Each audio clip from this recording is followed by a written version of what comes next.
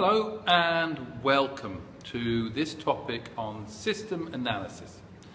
We are going to be looking at two major parts within this topic. The first one is going to be looking at the term project management.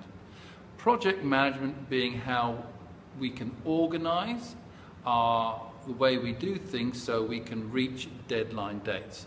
And we'll look at how a project manager goes about doing that.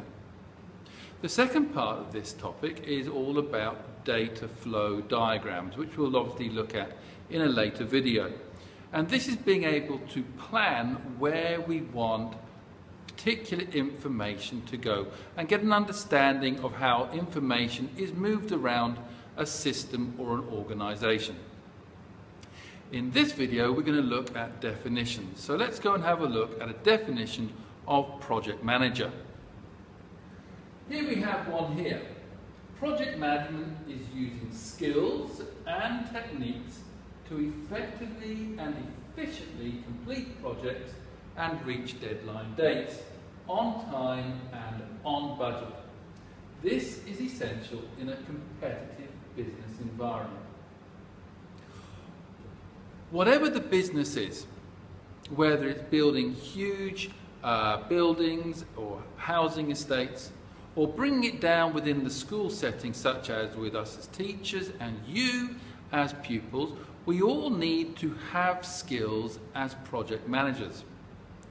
Within the world of work, reaching deadlines is an essential part of business. If you are going to be competitive and have a good reputation out there in the world, you need to make sure that you are starting and finishing at a particular time and that that means that all the aspects which go into building houses or bridges all of those elements are put together in an organized fashion and you are able to reach a deadline date. Companies that go over deadline dates are often sued. And as a result of that, the amount they are sued depends on how many days they have gone over the deadline date. To be able to effectively use project management, there are some skills that you need to look at. The skills are planning. This can be done on a daily, weekly, monthly, whatever time scale, but there is a plan as to when to start and when something finishes. Scheduling. Essentially, that's putting in what something is needed, whether it be people, resources, budgets, whatever that is, it's being able to bring it in at the right time. So there is no downtime. So essentially the workers wouldn't be sitting down waiting for bricks or cement to come onto site. It would be already be there and set up for the workers to use straight away. Directing. Directing is telling people where to go, what to do. Tracking. Some jobs take a lot longer than others. Some jobs might take days. The project manager needs to be able to monitor the progress of that particular task. Now, there is a piece of software called Gantt, which is a project management tool. And in a later video, we will have a look at these Gantt tools and understand what tracking is but it's a way of making sure that a particular job is completed on time. Budgeting is making sure that when we start a project, it's going to be finished, that it is not going to overrun, either in terms of time or in terms of expenses.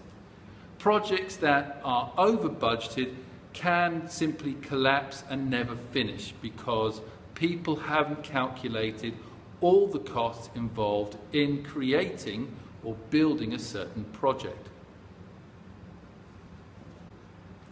If you want to be a project manager, then you're going to get well paid because it is a high pressure job. It is your job to make sure that deadline dates are met, that resources are used effectively and efficiently, and that all the scheduling is done in such a way that there are no hold-ups. So what does a project manager do? Well, let's say a simple task or one task would be that of creating a car. So we're going to build a car.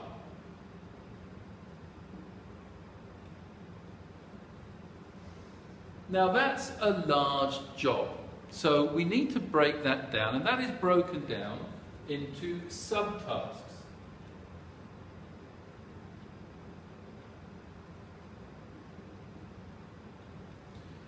These subtasks could be bodywork, um, engine,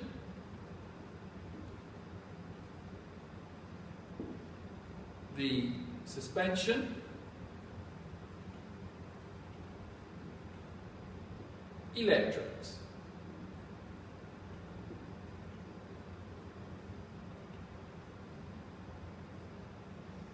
So this would be a handful of the subtasks that would be used to complete the task, building of the car.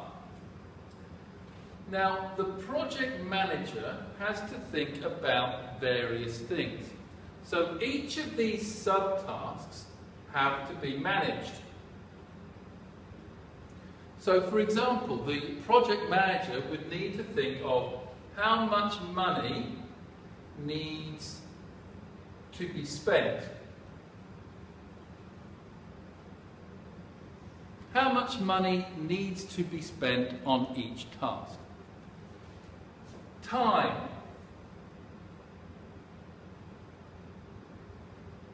Amount of time needed.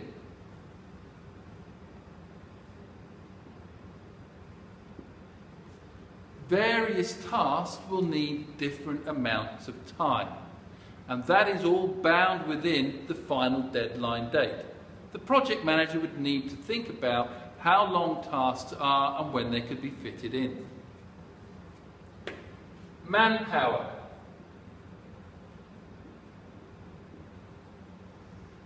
Some tasks are going to need more people than others. So that would mean maybe hiring people, how long for, how much for. Finally, expertise.